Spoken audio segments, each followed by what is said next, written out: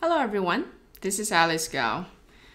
In this video, I'm going to show you two applications of the product rule, and this is regarding the two clicker questions in lecture 10 on slides 20 and 21.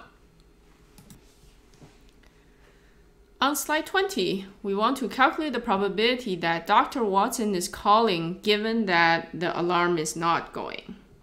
So the probability of W given not A. Based on our product rule formula, this is equal to the joint probability of W and not A divided by the probability of not A. Normally, we would have to go back to the joint distribution to calculate both the numerator and the denominator. But luckily for us, or because of my awesome design of the clicker questions, I already asked you to calculate both quantities in the previous slides. So you can use them directly. This is equal to 0.36 divided by 0.9, which is 0.4.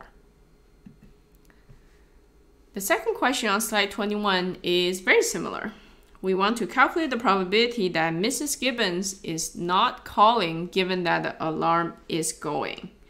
So the probability of not G given A.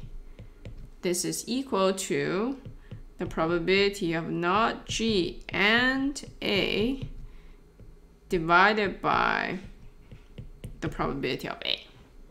So do we have both of these information? Well, we certainly already have the joint probability over A and not G. So we have that. But we don't directly have the probability of A.